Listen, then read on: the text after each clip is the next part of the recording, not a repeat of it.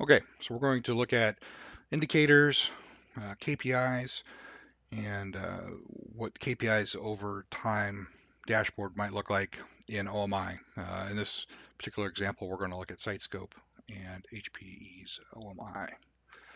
Uh, for versions, we're using 10.11 for OMI, and we're going to be using 11.30 for SiteScope. Uh, and the intent for doing all of this is to produce data in a way that can be consumed by Business Value Dashboard. It's another part of the HPE OpsBridge suite. So first thing we do is we need to start with configuring a KPI.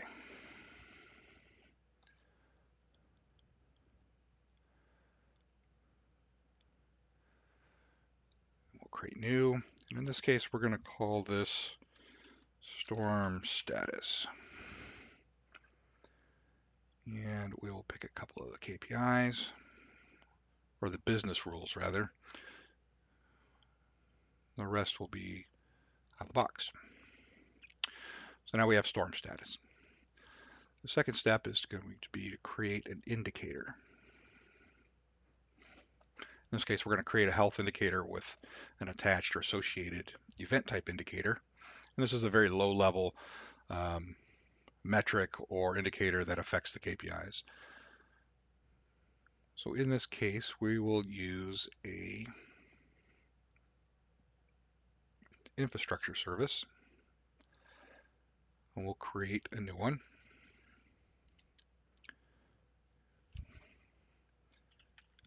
And we'll call this storm status.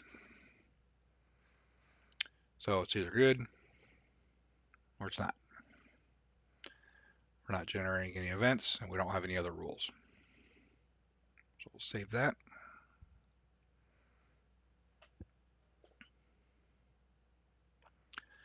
And then once we've created these indicators uh, on the KPIs, we need this indicator to make its way over to SiteScope. And so the easiest way, you can normally you can wait for the normal uh,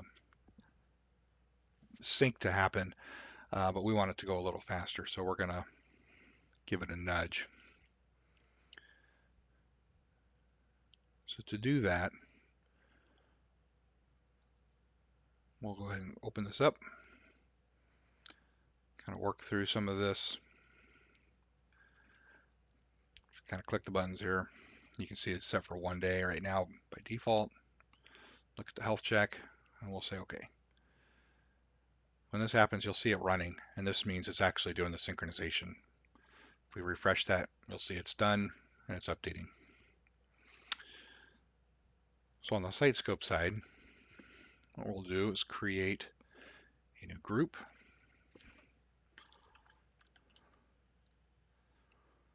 And we'll just call it Storm for now.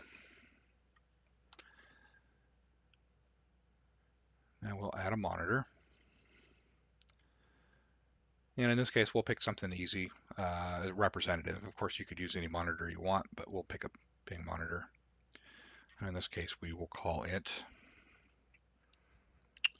um, BGE Storm. And the host that we're going to use to uh, test this against is we're going to use our business value dashboard server.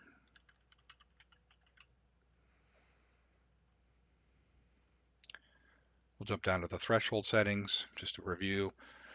Uh, the defaults are fine. The HP integration settings, this is the part where we'll be integrating with OMI.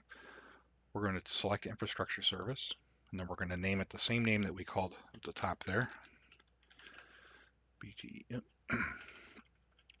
BGE Storm. One of these days I'll learn to type. And we'll use a customer of ours as an example organization. And the type we'll call a department. The next we're going to go ahead and add an indicator. In this case, we're going to do the uh, percentage of packets good. And then you can see the indicator has already been populated over from OMI. These are all of the indicators that are associated with this infrastructure service. So we're going to pick storm status and then any other indicators uh, wildcard. Any other indicators that come from this monitor will be assigned a legacy system. The last thing we'll do is the event mapping. And we have a custom event mapping. And that event mapping basically just takes this, uh, this name, which is the name of the monitor, and uses that for the node for CI resolution. So we'll verify and save and say OK.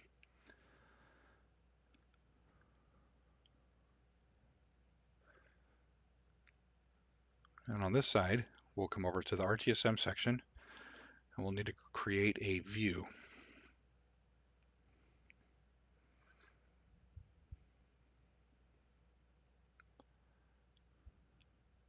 And this is how we will group CIs for a visualization on the workspaces side of the, the tool here. Now in this case, we're just going to copy one site, uh, the, the site connectivity, which is similar CIs in it. And what, to do that, we'll do a save as.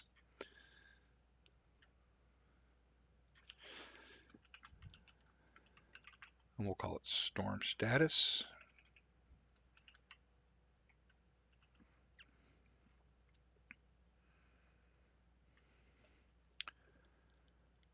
And we'll open it up.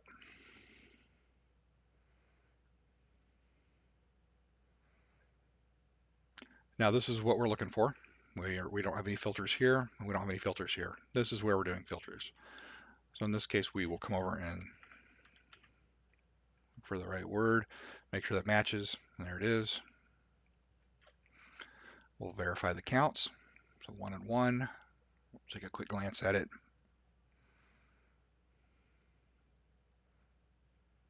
And that's pretty much what we're expecting. So now we can save this. Now once the view is created, now we need to go back into the system health and do some uh, assignment.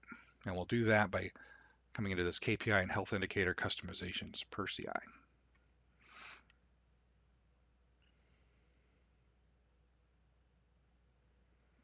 We'll select our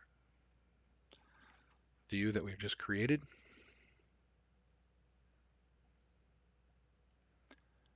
And we'll select this top infrastructure service. You can select multiples in here either by control or shift click. So we'll add a KPI. We want storm status and we want storm status, to the health indicator associated with that.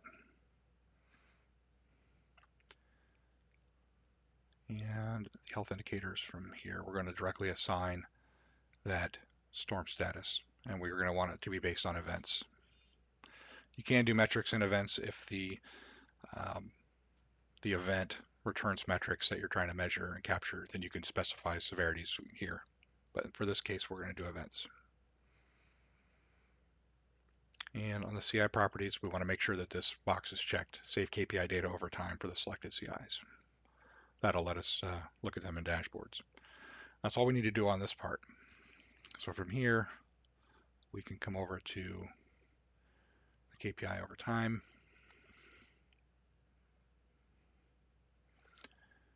And we can pick a new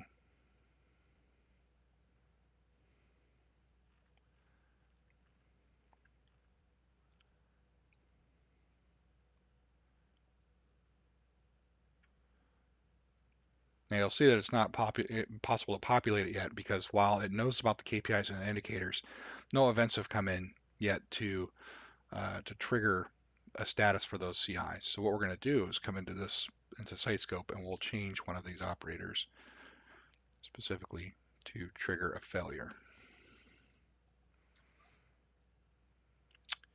And to validate that that failure is there, we'll go to the event perspective.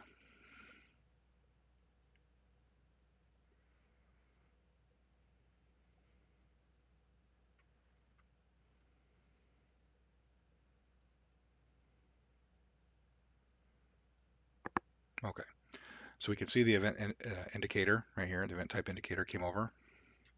We can see the event uh, and everything looks like it's mapped properly. And now that we do have this event, we can come back to the KPI over time.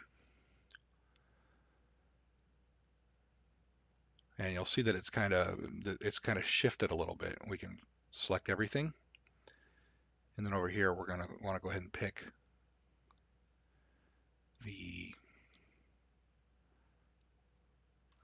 I'll unselect it for now. You'll see storm status. In order to see it in here, uh, in this list, it is possible to see it. You'll have to um, close the browser and clear your Java cache, and that will allow you to, uh, when you reload it, it will load this for you, and you'll see it in here. Um, but for now, you can see that the storm status is also uh, is uh, lit up on the end here. And we'll go ahead and set it back to normal.